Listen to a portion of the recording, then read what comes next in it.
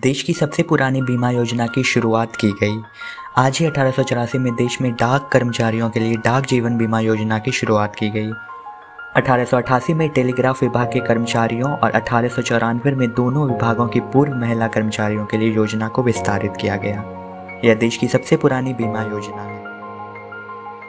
नई दिल्ली में राष्ट्रीय रेल संग्रहालय की स्थापना की गई।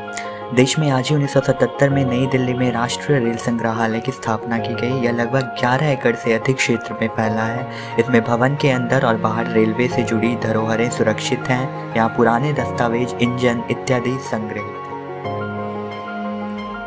शोले के रहीम चाचा ए के हंगल आज़ादी की लड़ाई में भी रहे थे सक्रिय।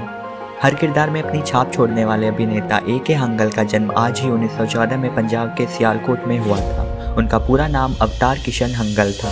परिवार के ज़्यादातर लोग ब्रिटिश सरकार के अधीन नौकरियाँ करते थे, लेकिन उन्होंने आज़ादी की लड़ाई में भाग लिया और कई बार जेल भी गए। वह एक ऐसे अभिनेता थे जो 50 साल की उम्र के बाद सिनेमा जगत में आए 225 फ़िल्मों में काम किया। फ़िल्म शोले के रहीम चाचा का किरदार लोकप्रिय रहा। 2012 में 26 अगस्त को अंतिम सांस